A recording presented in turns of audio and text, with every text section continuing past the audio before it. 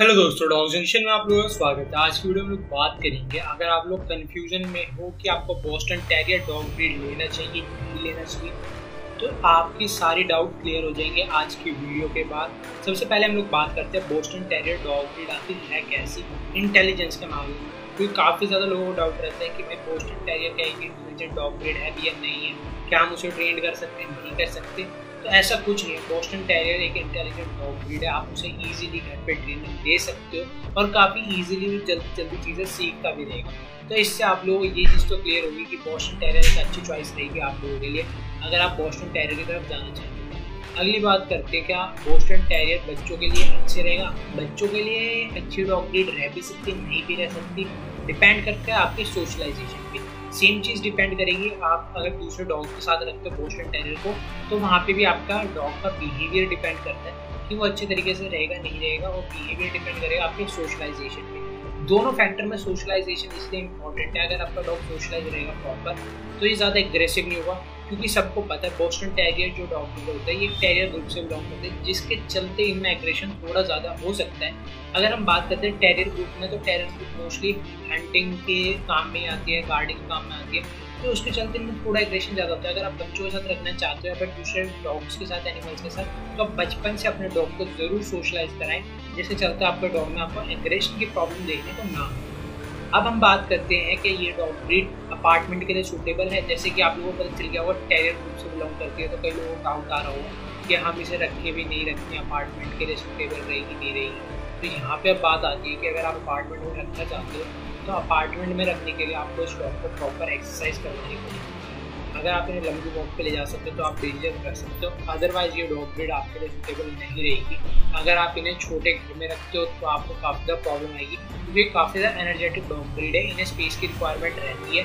अगर आप छोटे घर में रखते हो तो एक बारी को रख भी सकते हो, लेकिन आपको इन्हें एक्सरसाइज का प्रॉपर ध्यान देना पड़ेगा इन ट्रेनिंग पे, और इन्हें प्रॉपर चीज़ें समझानी पड़ेगी कि ये ज़्यादा बार्क ना करें। काफ़ी ज़्यादा एनर्जेटिक डॉग ब्रीड है तो घर में भाग दौड़ बचा के रखेंगे इस चीज़ के लिए आप प्यार रहना।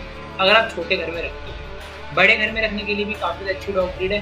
अब बात आती है गार्डिंग के लिए। गार्डिंग के लिए डॉग ब्रीड उतनी ज़्यादा सुटेबल नहीं रहेगी। हाँ वॉच डॉग काम बहुत ही ज़्यादा बखूबी कर लेंगे। काफ़ी ज़्यादा एनर्जेटिक डॉग ब्रीड होते हैं और काफ़ी ज़्यादा अलर्ट होते हैं ये। आपको अगर घर में कोई भी आ रहा होगा या फिर गली में भी कोई जा रहा होगा रात के टाइम तो भी आपको काफ़ी ज़ोर ज़ोर से बात करके बता देंगे।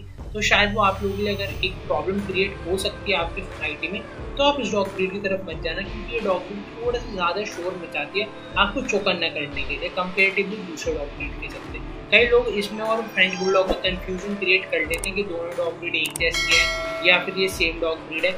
अलग अलग डॉग ब्रीड होती है, अगर आप लोग चाहते हो कंपैरिजन की वीडियो तो आप कमेंट कर देना। तो इनकी भी कंपैरिजन की वीडियो आ जाएगी।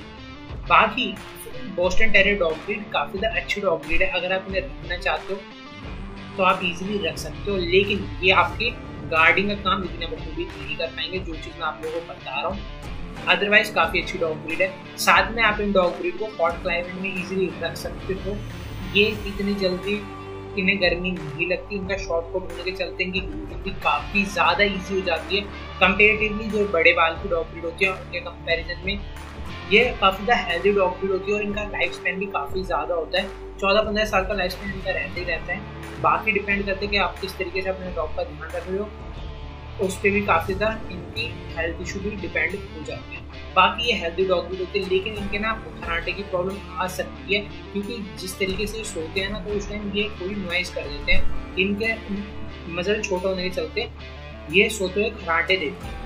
तो वो आपके लिए अगर एक प्रॉब्लम क्रिएट हो सकती है मतलब आप बिल्कुल ही कच्ची नींद में सोते हो तो आपके लिए काफ़ी ज़्यादा एक प्रॉब्लम का हो सकती है। अदरवाइज़ अगर आप लोग वैसे सोते हो कि भाई, हमें तो कोई फ़र्क नहीं पड़ता भले ही खराटे ले ले, कुछ भी कर ले तो आप बेसिकली इन्हें रख सकते हो आपको प्रॉब्लम नहीं आएगी। बॉस्टन टेरियर डॉग ब्रीड अच्छी डॉग ब्रीड है, आप इन्हें बेझिझक रख सकते हो, आपको प्रॉब्लम नहीं आएगी। इंटेलिजेंट डॉग ब्रीड है, बस सोशलाइजेशन में थोड़ा ध्यान दे देना। और इसके अलावा आपको प्रॉब्लम नहीं आएगी, इनका प्राइस जो है, वो वेरी करता रहता है। मैं आपको कोई भी फिक्स प्राइस नहीं बता सकता बॉस्टन टेरियर डॉग ब्रीड का। इनका प्राइस काफ़ी ज़्यादा वेरी करता है और ब्रीडर टू ब्रीडर वेरी करता है। और शायद आपको बॉस्टन टेरियर का जो प्योर अगर आप ढूंढ रहे हो इंडिया के अंदर तो आप मुश्किल से आपको मिल पाएँगे। आपको एक प्रॉपर ब्रीडर ढूंढना पड़ेगा जो कि बोशन टेरियर डॉग में काम करता हो, वहीं से आपको बोशन टेरियर के प्योर करके मिल सकते हैं। अब कई बंदों को अगर दूसरे टाइप के डॉग चाहिए जो कि इनसे थोड़ी लीज हो तो वो बुलडॉग की तरफ़ जा सकते हो। फ्रेंच बुलडॉग कंपेरेटिव थोड़े लेजी टाइप के डॉग होते हैं। बाकी अगर कंपैरिजन वीडियो चाहते हो तो कमेंट कर देना। काफ़ी बढ़िया कंपैरिजन होगा। दोनों डॉग ब्रीड दिखने में लगभग लगभग सिमिलर होती है। कई लोगों को इसके चलते डाउट आते हैं तो उन डाउट को क्लियर कर देंगे हम लोग। अगर आप लोग चाहोगे वीडियो के अंदर तो मिलते हैं नेक्स्ट में होती है। जय हिंद दोस्तों।